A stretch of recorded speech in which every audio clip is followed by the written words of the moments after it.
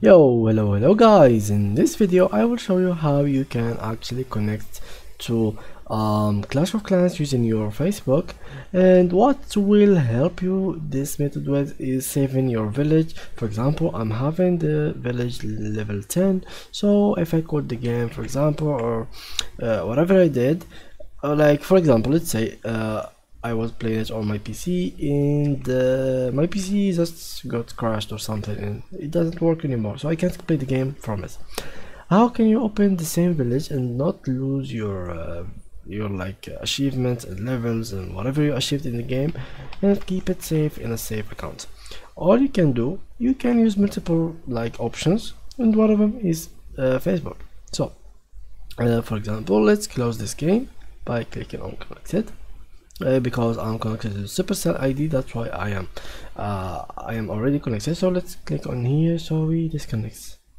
How we can do it let's check. Um, get something from here. Log out yes for me. Confirm. Now you can click on play without Supercell ID but at the same time you will have to um, to be connected to the to the Google Play or App Store with your email. So now after I did this, let's wait a little bit. Let's skip this tutorial that the game gives you. So let's do that. Do this, finish it like so. We wait a little bit, bring it now. We wait until these goblins attack us. So, and please make sure that you have uh, Facebook in your uh, applications because if you don't have it, you will not be able to fix it now as you can see uh, let's click on here. Um, let's attack. We have guys to finish the tutorial so you can have the option of facebook so yeah.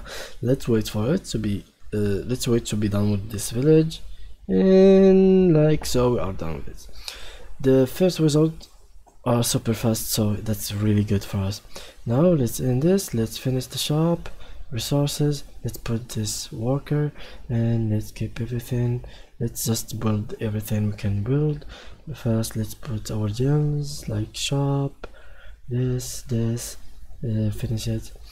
And uh, it could be so long for you guys to watch this tutorial but please just watch it all so you won't make any mistake later on. And so like so train resources let's put everything like so and one by that okay.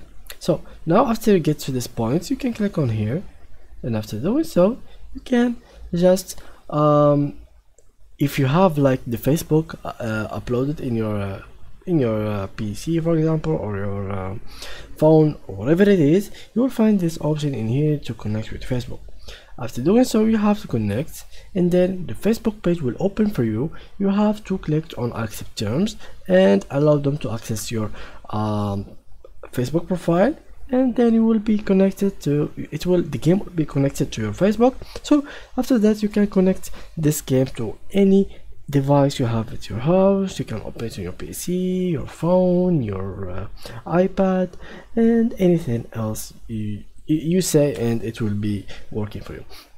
So yeah thank you guys for watching and see you in the next tutorial